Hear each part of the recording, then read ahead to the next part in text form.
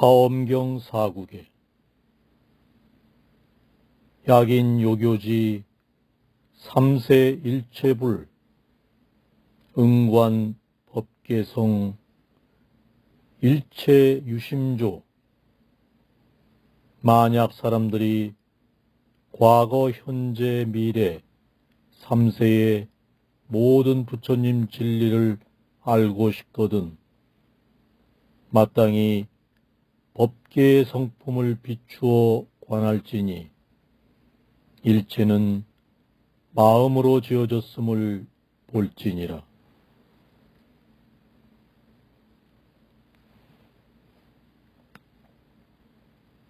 차유 고피유 차생 고피생 차무 고피무 차멸 고피멸 이것이 있으면 저것이 있고 이것이 생기면 저것이 생한다. 이것이 없으면 저것이 없고 이것이 멸하면 저것이 멸한다. 화엄경 중 연기법에 관한 내용이었습니다. 불법 제세간 분리 세간각 이세 멱보리 흡여 구토각.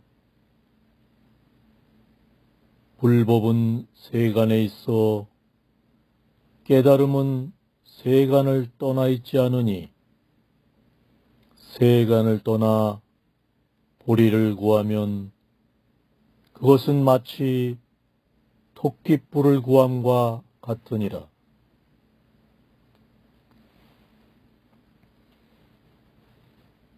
약인 욕식 불경계 당정기의 여허공 원리망상 급제취 영심소양 개무에 누가 부처의 경계를 알고자 하면 그 뜻을 허공과 같이 맑게 하여라. 망상과 작은 집착도 멀리 보내면 마음 가는 곳 모두 장애가 없느니라.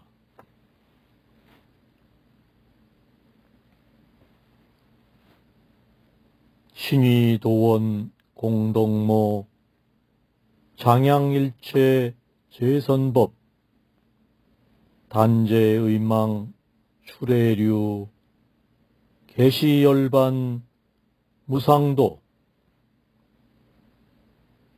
믿음은 도의 근원이며 공덕의 어머니로서 일체의 좋은 일들을 길러낸다. 의혹의 그물을 끊어버리고 애착의 물결에서 벗어나게 하며 열반이라는 최상의 길을 열어 보인다.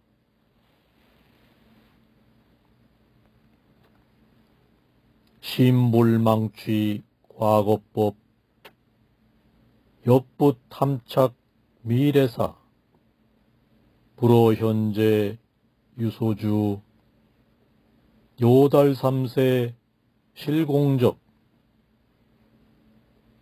마음으로 과거의 일을 취하지 말고 또한 미래 일도 집착하지 말며 현재 일에도 머물지 않으면 과거, 현재, 미래가 모두 공적함을 깨달으리라. 이상 화엄경 사국계였습니다